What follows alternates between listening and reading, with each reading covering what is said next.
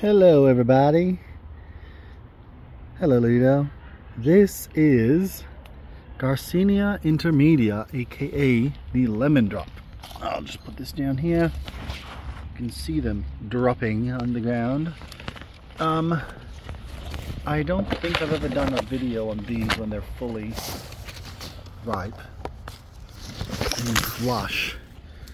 But I have been munching on these so much lately. Look how beautiful they are. I'll try and insert a couple photos that I've taken over the last few months because they're just, I've just been snacking on tons of these. So you just do this. This is the tree. We're at like, oh my goodness, what are we at? Three meters? Two and a half? So you just in your mouth, just a skim, and you do this. It's a bit gross, well, to some. You just spit the seed out and squeeze that. And then you give the rest. Oh, you don't want it? Come on.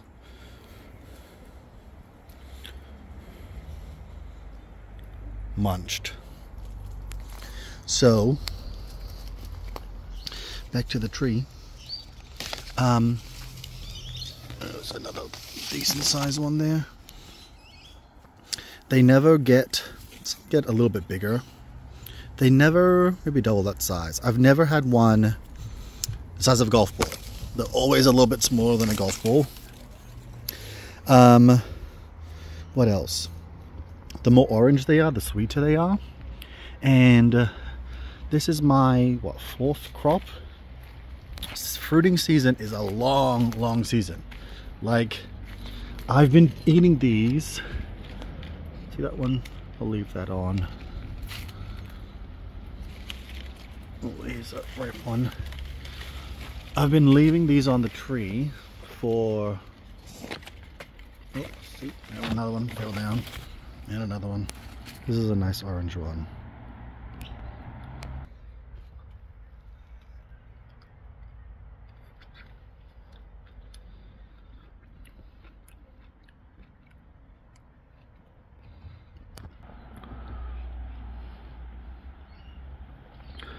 So they do have one seed or two seeds, quite large. So this is like um, you pop it in your mouth, you suck it, you suck the flesh around the skin and the seed, and then you spit it out. So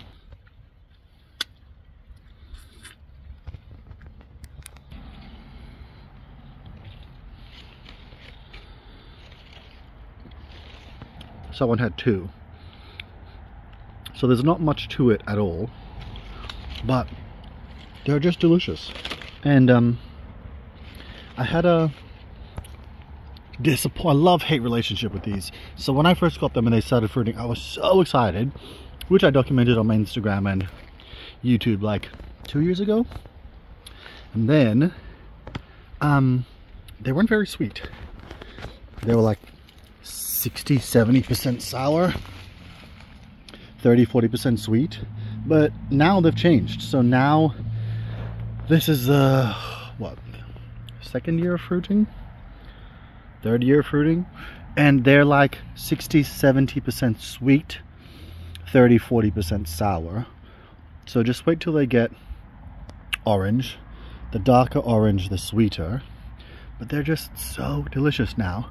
Um early summer I did get a couple that had fruit flies so there was some worms some larvae in there which was a problem because you know you're not gonna dig out worms from these because they're so small. But ever since then I haven't had any worms or fruit fly. Right? It's just delicious. Um, the flavor to me is like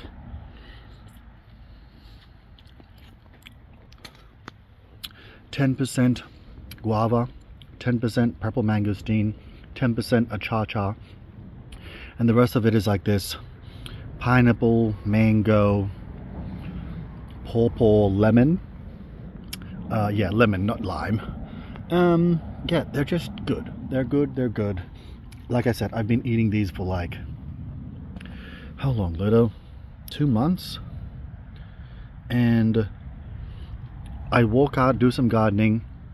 I stand here, I grab a few of the ripe ones. Occasionally a few of the bigger ones will drop on the ground. I'll pick them up if they're not, you know, looking all nasty. But, see, that one's a bit dirty. Not getting you. That one, yeah. You're going in. And then, um, yeah, I'll stand here for literally three minutes and just pop, pop, pop, pop, pop. I'll have like 10. I'll spit the seeds out. You'll see like dried up seeds. See, those are the ones that I've just spat out. And then you just move on. They're just such a nice, nice, quick, tart, sweet, tart fruit. Um, what else was I going to say? Oh yeah. Growing climate, subtropical here, no problems. So my winters get down to a low of like five to like eight on the coldest couple nights of winter a year. I think that's like 40 something degrees Fahrenheit and no problem. No problem. It'll just continue to grow quite hardy. I would say the hardiness is maybe a little less than the Achacha or almost identical. Very, very strong. Uh, this is the Achacha. Um, yeah. So, I've fallen back in love with this tree. Okay. And look at that ball. Look at this. I mean, hello. Hello. Delish. Okay. Garcinias. What do we got? Warrenii. Garcinia warrenii. This is the Australian native. Not doing so well since I transplanted it because I disturbed the long taproot. A lot of Garcinias have that long taproot that does not like to be disturbed. Get in focus. See, there's a baby leaf there. So, she'll do alright. Hopefully she'll do alright. Um, no, you can't have any, Lido. Leave it.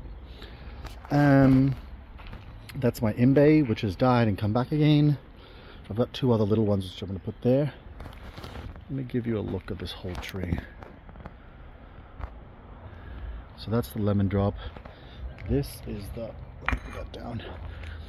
This is the other, this was supposed to be Bacupari, but turned out to be just another lemon drop, I think. And um, there's a bunch of baby fruit there. So this one, there we go, there's a couple there. Pretty much the same thing. Supposed to be different, but they've named it wrong. Somehow there was a mix up. Um, that's what I was going to say. These have been fruiting the lemon drop for months. I'm talking Yes, Kona, you want to be on camera? Look at this, what I just saw. See those tiny little green buds there?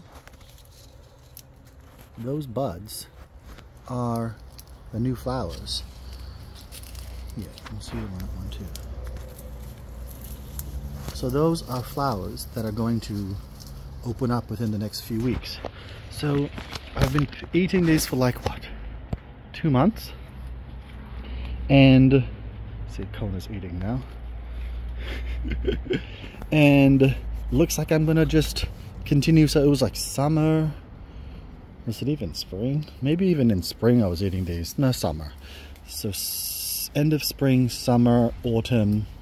I mean, we're to be into winter and I'm still to be eating these. So the season, eating season is extremely long. Um, what do we got here? The yellow. Um, no fruit. Gangly thing. Couldn't stand on its own when I bought it. Um, it is a seedling and obviously not the greatest with all the shelter around so it doesn't have as much sun as it needs. A lot of these Garcinias need sun so this one I'll just call it lemon drop 2 it used so like last year last year this one had a bunch of fruit obviously not as much as now and that one had very few. Now I've had I think I've eaten two off this the whole year and obviously I've eaten like I don't know at least a hundred of this one. But see the shade? It's literally getting nothing. So my Kwai Mok here is a Kwai Mok Mok has taken all of the sunlight and then my lemon myrtle has taken more of the sunlight. So this poor mangosteen. I was actually considering grafting something else onto this one because it's the same as this one, but now it's not getting any sun at all, so I'm thinking I might just leave it. Um, what else? Okay, I'll show you what uh, the other Garcinias I've got in the nursery, greenhouse. Okay, this is the greenhouse. This is how we're looking. Excuse the noise. Planted some lettuce, lettuce, some cabbages, some, I can't remember, wombok, not wombok, bok choy.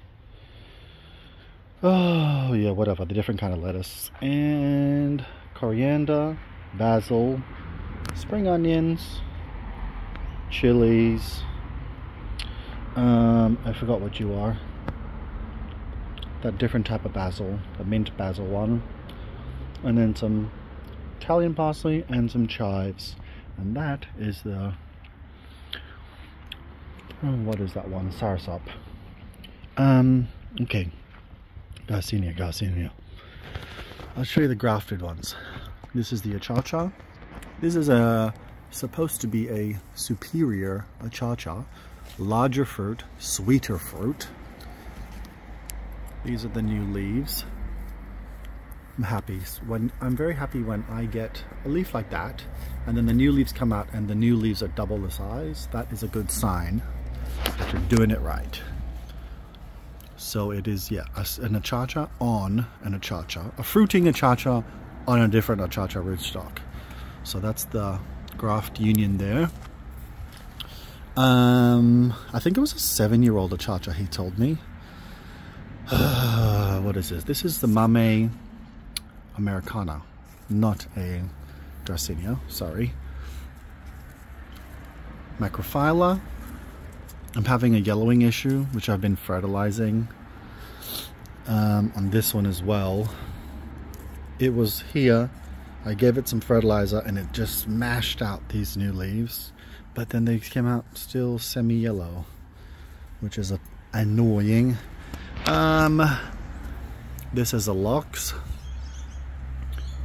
Um, that is the graft, the different kind of graft there. Nice big healthy leaves. I've been getting some scale. You see these black spots? So annoying. So I've been scraping those off. Um, Lindero. These are the baby ones if you watched my old nursery video. This is the Peruvian. Um, that's the squat behind there. They're growing, not really doing much. What's that one? Another macrophylla. Um, we've got the button mangosteen, which has died, or dying, I should say. So this had two little leaves on the top, two tiny leaves and they were there for about six months and then fell off. This is the original with a leaf, but I'm just keeping it, but I'm pretty sure it's dead now. But it's still green, so I'm just watering it, hoping, hoping it'll bounce back. Um, this one is the pumpkin. This one had a lot of scale, you see? Um, I need to come through again and do another cleanup of this scale. So annoying. Um, Gardneriana. And forbesii, look at that one. terrible growth. This one lost a lot of leaves. I repotted it, gave it some more fertilizer. Now it's shooting out one, two, three more branches. Hopefully that'll be okay. Um, this is my other Luc's. Grafted. Where's the graft? There's the graft there. Um, yeah, that's the new leaf. Beautiful, big, healthy leaves. Um, um, any other Garcinias? I think that's about it. So I have a ton I lost. A ton. I'm talking 20 baby ones. Um, thankfully, the rare ones held on. So like the pumpkin, the squat, the Peruvian, um, Gardneriana, you know, a few of these more rare ones um, I've held on. I've lost two of my grafted ones, um, which were so annoying because um, rats came and chewed, literally chewed half of the trunk of the main one out, which was so, so frustrating to me. So you'll see my nursery. You see that hole there? That is where the bloody rats come in, those bastards. Um, anyway, such is life. You gotta, you lose some, you win some. Oh, actually, I do have a bunch more Garcinias, but these are all the Achachas. Hi, Cha-Cha. Oh! Fill to the next level. Achacha, Achacha, more Achacha. Look at these ones. I just I threw these in the pot. I mean, how many is in there? 20? They're so hardy. Just throw them. I put a base in because they like water. And um, yeah, so these are all achachas. And then I've got another batch of achachas out here. I don't know if you can even see that.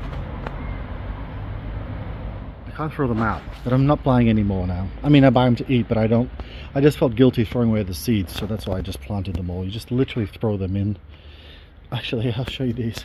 This is what I've done here. This is um jaboticabas I've been eating, and I've just been spitting the seeds in here, and now they're all popping up. I don't even know which ones they are, but when they get a bit bigger, I'll just I'll be able to tell from the leaves what they are. Um, yeah, okay ciao guys. Oh i'll tell you when i lost all so many of my plants i even lost a lot of my jaboticabas as well. Um i repotted a whole bunch before winter and i used some coconut coir uh, what was the other one? Peat moss. I never ever used peat moss in my soil before and yeah a ton of them died over winter. And I've grown a ton over winter no problem so I think the peat moss was a problem. I don't know how or why. Then it was the rats, and then my dogs got in here and knocked a few off, and then, yeah.